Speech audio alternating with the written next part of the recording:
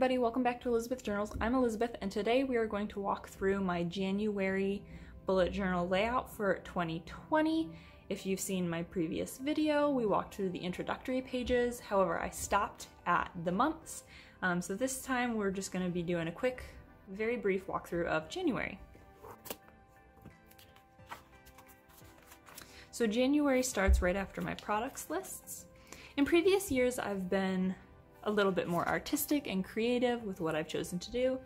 This year I want to be very practical and simple because I am so incredibly busy and in a huge transition transitionary part of my life. So I think um, keeping it simple is just going to be an essential for me right now.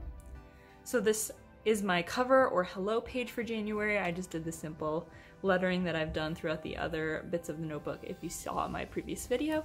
And then I thought about um, I'm trying out a major dates and events box on here. I like the idea of it. I'm not sure if I'll follow through. So we'll revisit this in February's flip through and see if I actually used it. Next, I kind of just bounced off of where I left off in December. You can go back and watch that video. I started using this layout for my weeklies in, I believe, November um, or October, it just became very difficult to keep track of my life using only the boxes that I was previously using, um, or I guess the rows, but so I, on the left page, have a time tracker for Monday through Saturday, starting at 6.30 a.m. and going until 10.30 p.m. And then I just color in things as they go. Um, the beginning of the year starts off pretty slow, but as soon as my semester starts and I start seeing more clients, this is gonna be so full it's going to be ridiculous. And then over here is where I keep track of my due dates and all day events. So for instance, the 31st of December is New Year's Eve. I put that down here. And for example, I have a post due January 30th for the blog. Link in the description if you're not aware that I do a blog. But so I highlighted it there in pink if we refer to my key, which you can see again in the last video as well. Pink is business related, yellow is holidays and birthdays, and eventually there'll be a ton of purple and orange. And then green is work. So this is kind of how I went with that. I originally did everything in gold and then it just was too much gold and nothing was distinct enough. So I switched over to black headers and subheaders. Um, and then I stuck to the script in the subheaders as well. All the line work is done in gold though. I may reverse that in February. I'm not sure yet because all of my other headers are gold. And pretty much I did this for every week and anything that I have already planned as of December like 20th, um, that's in here.